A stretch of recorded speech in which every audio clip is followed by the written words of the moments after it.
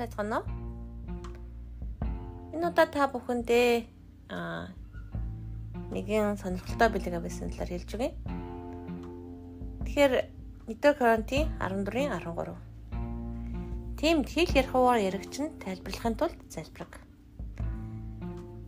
Тэгэхээр хар хэлийг тайлбарлах бэлэг авсан талаар нийтээр карантин 12 дахь гардаг. Бурхан хар хэлийг өгдөг бөгөөд хар хэл нь хэд хэдэн янз байдаг талаар та бүхэнд хэлсэн.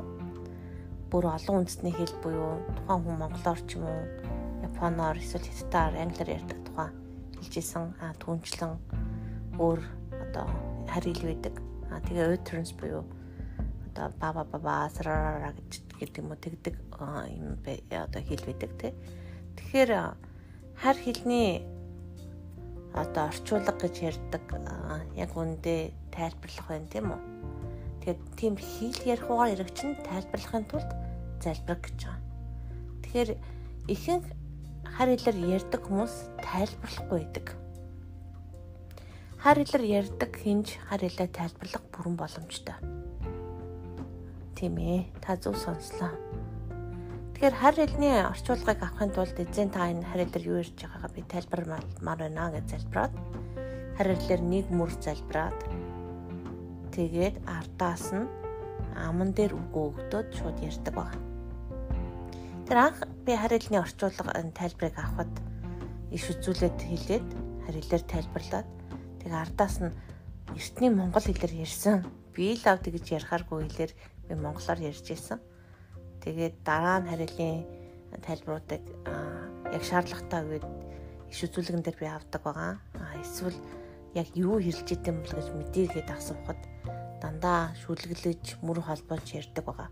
Ердийн би гэдэг хүн югээл дан дандаа шүлгэлж мөр холбоож ярих вэ? Би чи шүлэг бичиж чаддаггүй хүн. Тэгэхээр дуулах шиг бас орж ирдэг байгаа. Тэгэхээр та харилны орчуулга хийхдээ болж өгөл мэддэг хүнтэй харилцан орчуулдаг, хийлдэг, тайлбарладаг хүнтэй хамт байгаад дадлаг хийвэл зүгээр. Тэгээ амсгаагаад харилцаараа яриад тэгээ ардаас нь дахиад жоохон үлээхээр шууд тайлбар нь орж ирнэ. Орс эргэлзэж болохгүй тайлбарыг хэлэх ёстой. Тэгээ дахиад харилцаа тайлбарлаа. Харилцны тайлбараа ардаас нь дахиад хэллээ. Тэгээ хажууд чи хүн байвал таныг зүг байна, буруу байна гэдгийг чи хэлж өгөөд би энтэйгээ харилцаагаа орчуулгыг хэлж хагаад сайжирдаг байгаа. Тэр өөртөө эргэлзэхгүй болсон цагтаа ахаа олны өмнө тайлбар хийж болно. Би ер нь харилцны тайлбарыг олны өмнө барагтаа хийдгүү. Яг онцгойлон зарим пасторудаар өгсөн иш үзүүлгүүд дээр тэг пастор иш үзүүл харилцаар залбираад би яжууд нь тайлбар хийх ч юм уу тийм тохиолдол байдаг. Гэтэ тэр нь өөрөө хүсэж байгаа тохиол. Тэрнээс биш зөвхөн өөртөө болон хань ижил эсвэл хамгийн дотны хүмүүстэй энэ бүхнийг хийдэг. Яг бол би энэ биелэг хэсэгнийг одоо бүр одоо миний онцгой бэлэг боллоо ерөөсөө биш. Би зүгээр л яг энэ яг ингэж болдог гэдгийг сонсоод тэгээ би давтаж хийсэн чинь орж ирсэн байгаа. Тэгэхээр таа ч гэсэн энэ бүхнийг сонсоод дахиж давтах үед орж ирэх болно.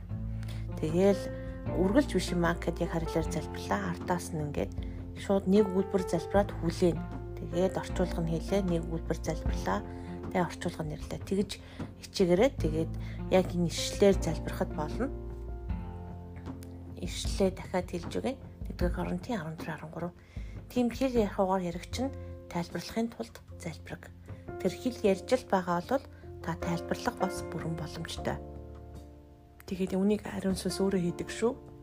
Бас их сонирхолтой бэлэг авьяас. Танд амжилт хүсье. Баярлалаа.